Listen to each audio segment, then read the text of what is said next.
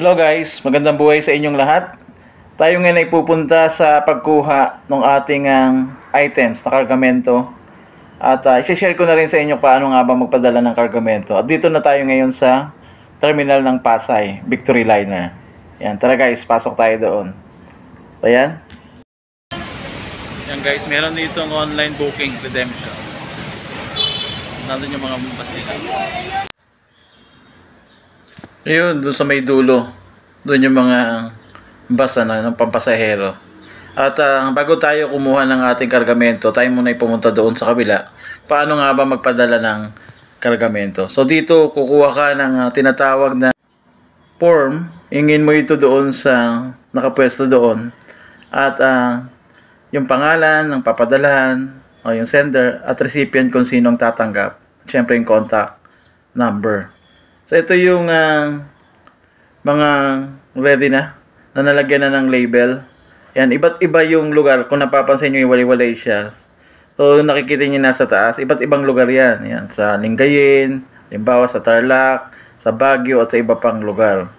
So, doon naman sa kabila, yung uh, itong uh, bayaran. Ayan. So, syempre, magbabayad ka ng flight uh, charges. Depende doon sa bigat ng iyong ipapadala. At uh, lalagyan nyo syempre ng sticker, babalik dun sa nakita nyo kanina, at ididikit sa box na ipapadala. So, ganyan yung pagpapadala. At dito naman sa arrival, ito naman ay kung paano kumuha ng kargamento. Syempre, ihanda ang bill of lading o yung BL number na tinatawag at uh, ID nung tatanggap. No? Syempre, ay uh, papadalan din sila ng message.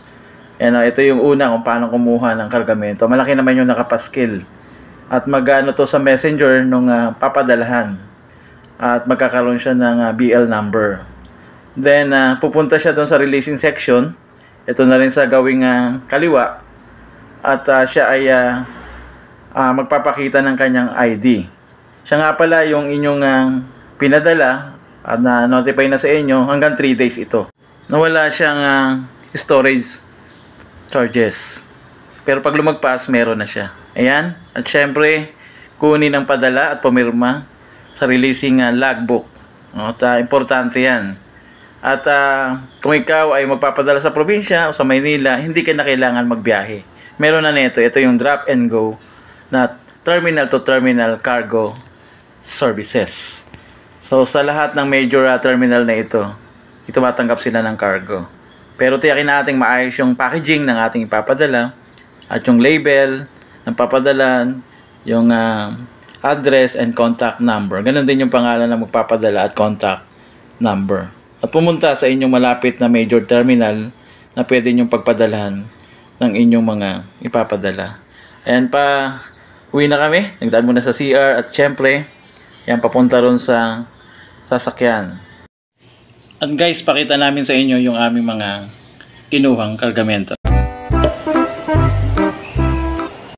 Ta paki ano nung ano yung sa likod buksan. Oh, buksan para makita niyo. Ito guys, oh. Magchicharon kasi to kaya nakaano lang siya, naka-plastic lang siya. Pero may mga naka-box din kami dala. Ayan, at uh, kami ay pauwi na. At patungo na doon sa aming uh, uwian at aming destinasyon.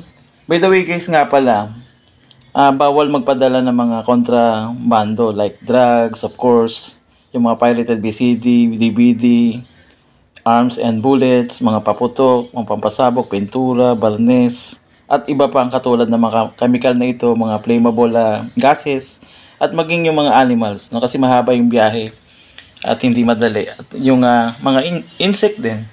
No? So, uh, mauubos naman yung mga insect natin kung dadali natin lahat sa Maynila. At syempre yung uh, isda, kailangan naka-styrobox siya at uh, maayos yung pagka-package niya. Guys, ganyan kaganda yung ano, pagpapadala at magpadala. Convenient. Dito yan sa Victory Liner Drop and Go. I hope guys, mula dito sa Pasay City, sa kanilang terminal sa Victory Liner, muli ito si Ariel Nicolas nagsasabi sa inyo, purihin ang Panginoon. Bye-bye! God bless!